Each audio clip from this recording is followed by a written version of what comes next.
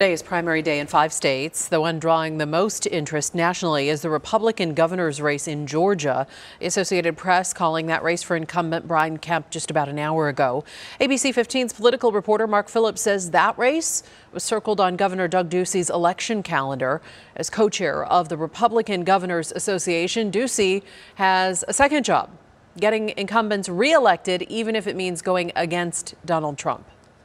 In Georgia, Republican voters are overwhelmingly choosing incumbent Governor Brian Kemp as the candidate they want in November's general election, dismissing Donald Trump's unfounded claim that Kemp helped steal the election from him. Governor Brian Kemp here, great state of Georgia, with a great governor from Arizona, Doug Ducey. Kemp becomes the third Republican governor to win after facing a primary challenge by a Donald Trump supported candidate. What Governor Ducey has done very successfully is focused on the things that matter most to regular people, not on things that matter to a former president who continues to litigate an election that he lost. Kirk Adams would know. He served as Governor Ducey's chief of staff and remains a political confidant. The idea to look forward and not back decided last November in Phoenix at the Republican Governors Association meeting hosted by Governor Ducey with a guest appearance by former Vice President Mike Pence. My advice tonight to Republican governors gathering here in Phoenix is going to be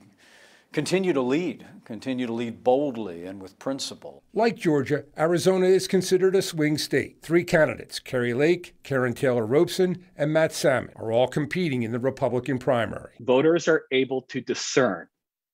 They're able to understand and make choices about candidates. And we're, we're seeing that in Georgia today. I believe we're going to see the same thing in the state of Arizona. They say that uh, the movement is dying. I don't think this is dying at all. Kari Lake is Trump's candidate in Arizona. The most recent poll by OH Predictive shows she's leading, but Karrin Robson is gaining. This week, Robson is attending the National Republican Governors Association meeting in Nashville, where she'll be looking for endorsements and cash. Mark Phillips, ABC 15, Arizona.